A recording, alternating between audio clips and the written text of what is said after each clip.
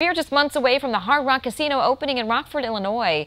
Casino officials say will open no later than Labor Day. Our affiliate in Rockford says the 180,000 square foot space will feature more than a thousand slots, dozens of table games, a sports book, and an entertainment venue. And thanks to a warmer winter, the 1,200 strong construction team didn't miss a beat this season.